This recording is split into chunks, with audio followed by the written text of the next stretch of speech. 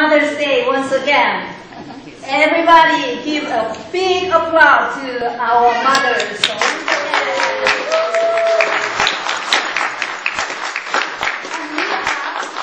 Celebrating our Mother's Day today, and also we are celebrating uh, Rolanda Turner's 90th birthday.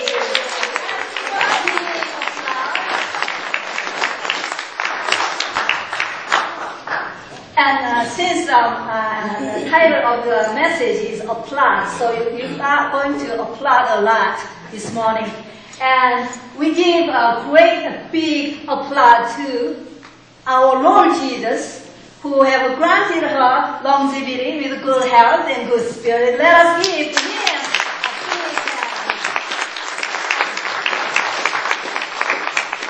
Yes. Not only that, it helps uh, your um, the blood circulate uh, really good when you apply with, with your whole heart, you know. And today I want us to give a big applause to our Caucasian.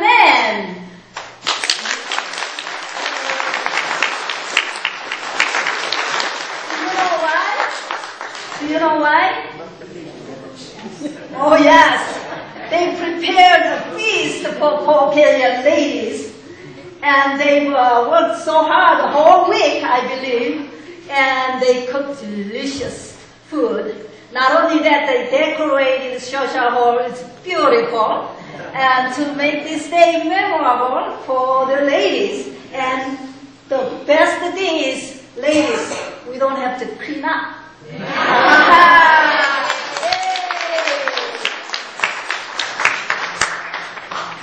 So, we are going to have a really happy Mother's Day.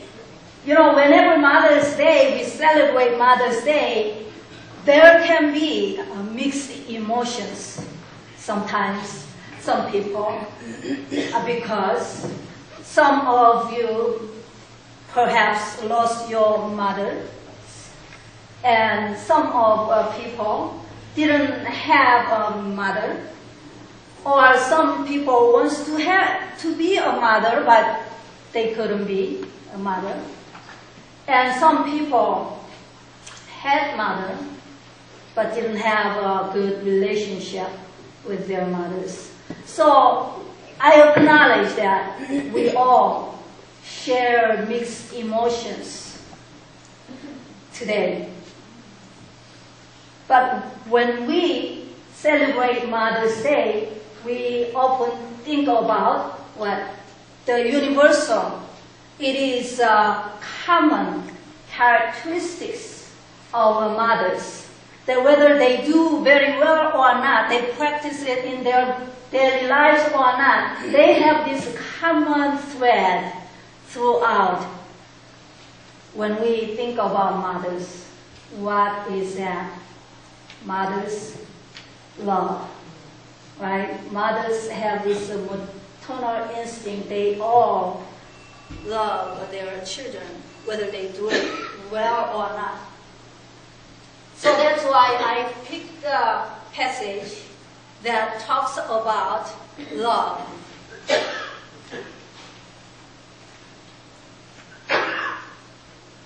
Do you hear me?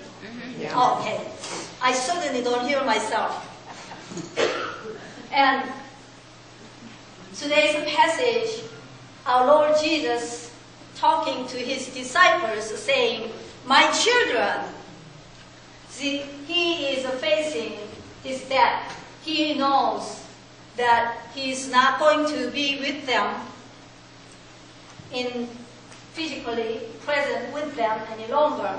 So he had to say one basic thing for, for them to live life after he's gone. What is the most important thing? What is the most basic thing? Is that I give you a new commandment, right? Love one another as I have loved you. Love one another would be too bad. But he said, as I have loved you. so that the world will know that you are my disciples.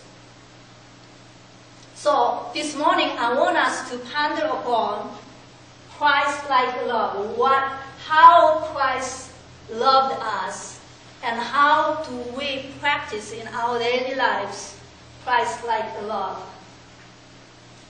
And it's uh, since Mother's Day, all mothers have to uh, learn and renew, review, and examine their way of loving their children.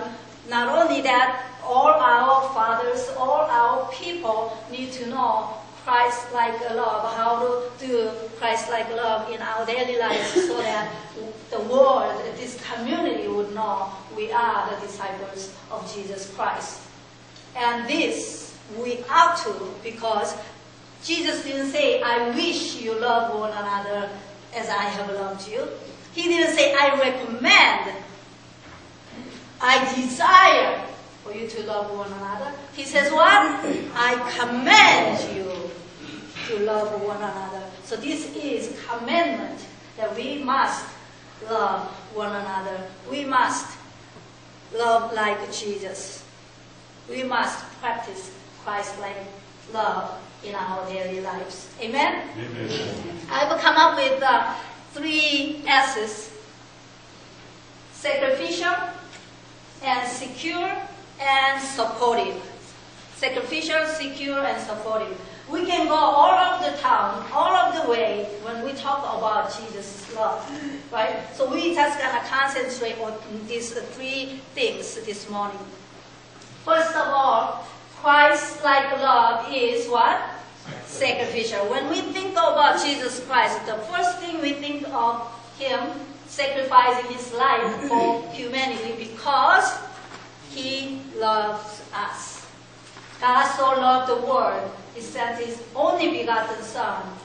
Whoever believes in Him will not perish, have everlasting life.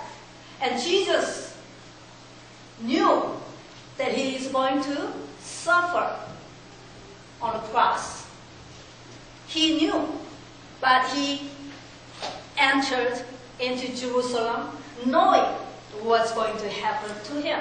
On the cross, he had the power to stop his suffering, but he endured his suffering. He died. If he didn't die, we are still condemned we don't have any future. And he rose from the dead to give us a solid assurance. So when we think about Jesus Christ, we think about sacrificial love that he did. And when we think about talking about mother's love, we remember mother's sacrificial love. You know, a young woman was uh, going to a place south of England with uh, her baby. And she never reached the destination because of a snowstorm. And when the rescuers found her under the amount of snow, they found that she had only the inner garments on her and face down. And when they lifted her up, there was all her outer clothes wet with something, and they found out there was baby boy still alive and well. Before her death, she took off her clothes, covered this baby with her clothes, and then sheltered him with her body so that baby do not get this chilling snow and suffocated by snow. And that baby became the prime minister of England, Great Britain.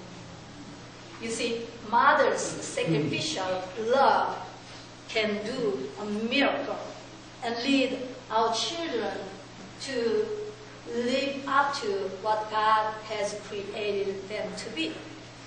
So that when we encounter such emergency, life and death. And I believe we all have such love. But how do we practice such love in our daily lives? there is a no snowstorm. How do we practice such a sacrificial love for our children? Hmm? I know many of mothers have quit their dream, quit their job, they quit, uh, abandoned their financial independence to raise their children out of uh, love. They sacrifice. And they sacrifice their time and energy to work two, three different jobs to provide good houses and good food and good clothes. Mothers. That's how we sacrifice for our children so that our children can reach. Children become the person, people that our Lord God has created them to be. Amen? and then, second is what? Christ-like love is secure love. Secure love. It is forever kind of love. Love lasts, love, love never fails. Love, His love lasts forever. You know, there was a funny letter that um, the woman wrote a letter to her boyfriend, and she says, I love you forever. Uh, please take me back. I love you, I love you. I think about you all the time. I pray for you all the time. And I love you, I love you. I day and night, I love you, I love you forever. And forever yours. She signed it. And then P.S. Congratulations on your winning of state lottery. Is that love? Is that really love? Is that of last uh, lifetime?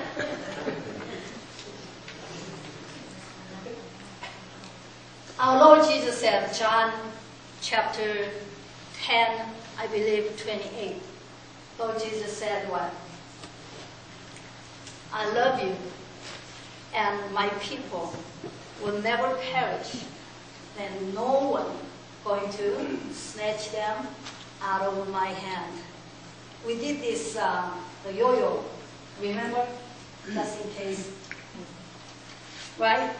What Jesus is saying, that I never learned it after I have done it. and now I try again. Right?